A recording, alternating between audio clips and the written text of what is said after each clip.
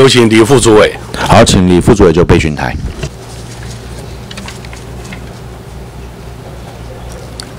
副院长，早。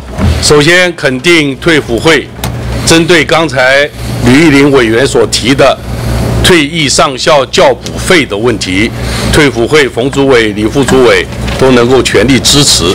我在这里做一点补充：军职跟公教不一样的地方是，上校平均退伍年龄大概五十岁，那么公务人员、教师退休可以到六十五岁，所以几乎没有孩子。还在读高中或者大学，那么退役上校平均年龄五十岁，军人大概都晚婚，所以多数退役上校的子女大概都在高中、大学，所以我相信退伍会的努力，希望能够坚持将这些差异性向上级去反映，为退役的上校争取应有的权益。是我跟委员补充哈，是让公教人员就像委员讲的，他的子女。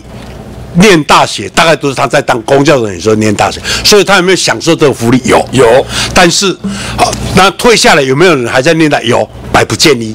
但是上校的比例很高，所以反而这些人没有领到，从这个角度是不公平的。谢谢副主委的说明。那么第二个我要问的，现在的防疫措施非常的严峻，那么也肯定刚才几位处长回答的。退辅会各级荣民医院以及各级荣家所做的各种准备措施，我相信花了不少预算。但是这次的防治纾困振兴条例里面，退辅会一毛钱都没有编。而我们在 SARS 期间，退辅会编列的预算，各位请看这个 PowerPoint 上面，在 SARS 期间，退辅会编了五亿多的预算。所以这次我们不了解为什么退辅会。没有提出需求，或者提出需求，行政院这个审议的时候没有将你们纳入。请回答。主席处长，那个我们对于那个这这这个需求，我们是用以缓积极的方式来来来去指引。哎，用这种方式是不是能符合各级荣民医院以及融家的需求，是值得堪虑的。那么我再请教一下，如果你们提出来了，而行政院没有给？是到底情形是怎么样？呃，跟跟委员报告，我们主委非常关心，他每个礼拜礼拜一都有主持相关的会议了哈。那刚刚讲我们，我我们这个呃呃这个呃以以反积极哈，指引哈，公益算的部是两亿六啊六六千九百呃万亿啊，荣民农基金会的荣民医疗作业基金会一亿七千。一万的，换句话说，我们认为从我们的公预算跟从我们的基金预算这样子哈合起来哈，四亿啊四亿大概三千呃四亿大概四千万的已经足够。我想辅导会去年编制今年的预算应该都有它的科子目，我想我们都是从政府部门出来的。那你的以缓济急的这个科子目项目，如果移来做这个？请问现在才三月份，如果年度内你还有急迫的需求，你从哪里来支应？跟我希望还是跟行政院去争取，因为退辅会负担的防疫责任相当的重大，尤其是各级荣民医院。如果你们可以争取到，为什么不去争取能够对各级防疫做出更好的贡献，而不是吃自己的预算？这一点我请。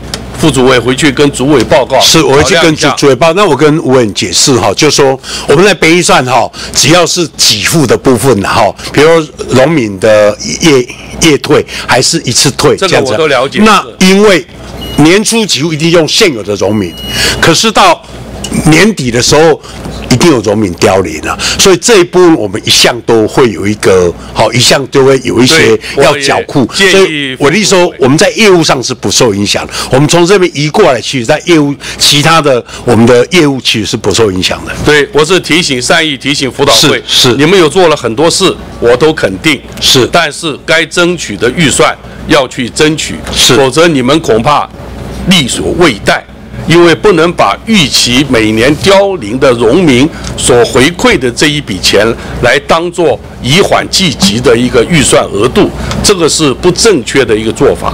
最后一点时间，我想请教，现在的募兵制暂行条例在今年三十二月三十一号要截止，其中有关退役军人家属的水电优惠还没有修法，其他现役军人的募兵制条例里都已经完成修法，是不是请辅导会也要考量这个当初列在这个暂行条例里面，就是一个招募募兵制的诱因。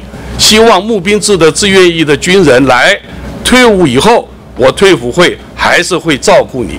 那现在十二月三十一号就要到了，条例要停止了，请问退服会对这件事情的态度怎么样？是跟委委员报告，谢谢委员哈。那这一部分哈啊，水电优优待的措施哈，我们要修改辅导条例，已经报验。好，正在审查中了。我希望能够对，在这个那条例截止之前能够完成修法。是，当当然，那这样暂行条例的部分，因为这是国防部业管啊，那我们跟国防部密切合作，国防部希望能够能够延长，那我们两边都进行。他希望延长，但是不是能够顺利，这个不确定。那我们的部分哈，辅导条例部跟刚跟我们报，我们已经报行政院在审查中。好，谢谢辅导会的努力，谢谢。